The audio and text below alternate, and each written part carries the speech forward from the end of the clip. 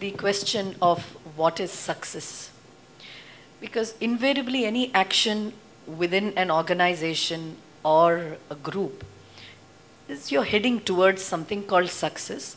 And to be successful, do anything to get there.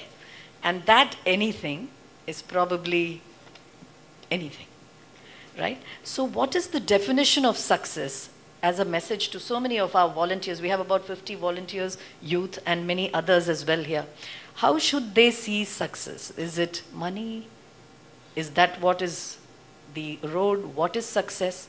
And how can we ensure ethics and values on the road to being successful? So these are two questions into one. So whoever would like to start, shall I start with uh, you? Back to uh, an anecdote from one of the scriptures, what they call success as.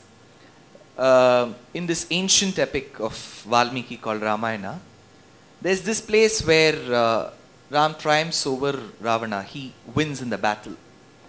And uh, Ravana's wife, Mandodari, she was an erstwhile daughter of an yaksha. Yakshas were very powerful people like Bahubalis in those days.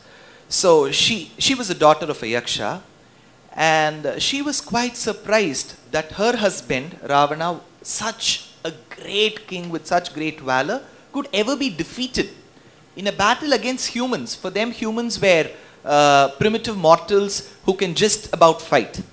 So she was quite surprised and she wanted to first abuse the person who defeated her husband and second she wanted to have a look, a glimpse of the person whoever defeated. So with her disheveled hair, she comes running on the battlefield and uh, to her it didn't matter that Ram had won over Ravana and for her that, that was not success. So she came running. Valmiki is such a great poet Rama is seated on a stone. The rays of the sun are falling on him, and there's a shadow falling on the earth. The moment Rama was looking at the ground, he saw the shadow of one person fast approaching him. Looking at the shape of the shadow, he could get to understand that this is the shadow of a woman. This lady came to abuse to see who that person is. He didn't even know who that person was. He was just looking at the shadow. At that very moment, Valmiki says, he went one step back so that his shadow doesn't touch the shadow of the other woman. So that's when she stops and she realizes that success to Rama was not in the battle, but success to Rama was in this character where he thought the other woman should be equally respected, which did not lie west in her husband. So to her, success was not wealth. To her, success was not the other person winning. To her, success was with a person who valued the other person equally.